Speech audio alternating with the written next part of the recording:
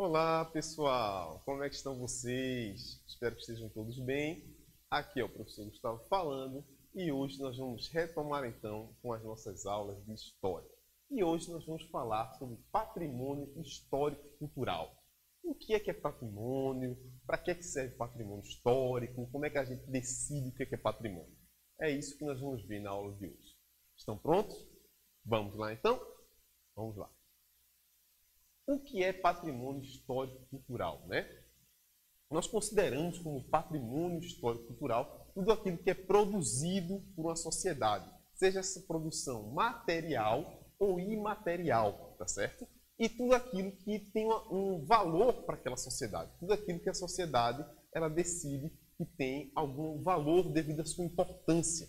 Então, tudo que é produzido para a sociedade, seja material, como por exemplo uma igreja, uma cadeira, certo?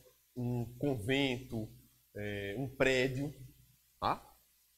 pode ser considerado como patrimônio daquela sociedade e também coisas imateriais, como por exemplo uma música, certo? uma história que é contada, um tipo de dança, um tipo de comida, tudo isso também pode ser considerado como um patrimônio imaterial daquela sociedade, tá bem?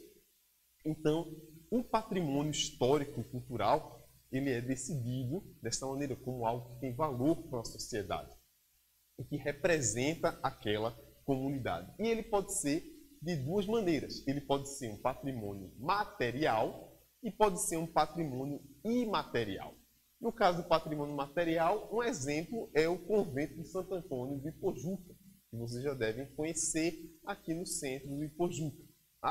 Um outro exemplo de patrimônio, caso patrimônio imaterial, é a capoeira e o frevo, que todos aqui em Pernambuco já devem conhecer. Então, esse tipo de, no caso, a capoeira, que é uma mistura de luta e dança, e o frevo, que é uma dança, eles são patrimônios imateriais. Ok, pessoal? Então, como patrimônio histórico e cultural ele é escolhido? Como é que você decide o que é que é patrimônio histórico e cultural, certo?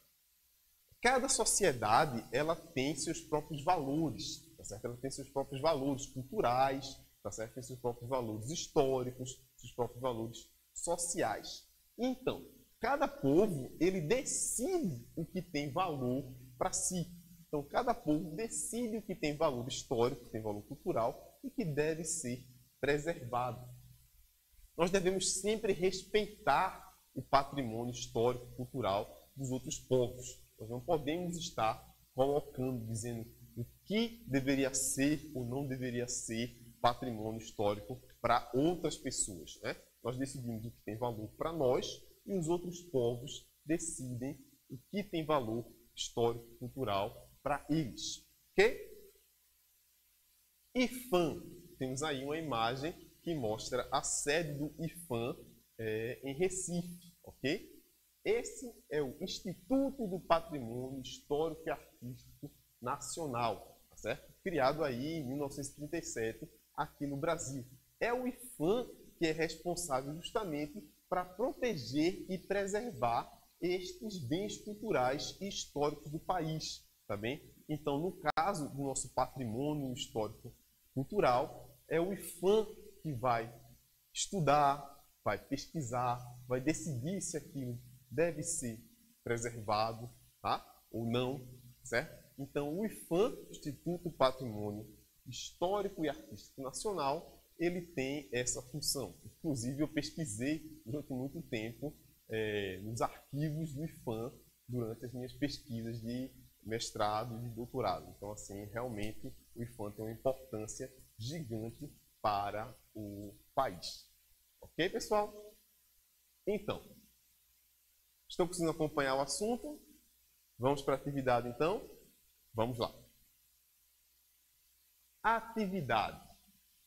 Escreva em seu caderno o que você acha que é um patrimônio histórico e cultural de Ipojuca.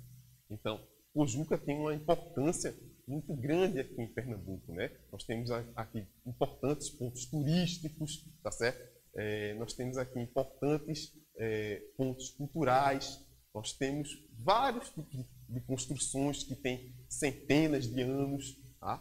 Nós temos aí também estilos de música, é, nós temos uma variedade de elementos que podem ser considerados patrimônio histórico e cultural. E vocês? O que é que vocês acham que é patrimônio histórico e cultural do Ipoju? Respondam aí no caderno de vocês, tá bem? Muito obrigado por tudo. Nos vemos na próxima aula. Fiquem com Deus e um abraço.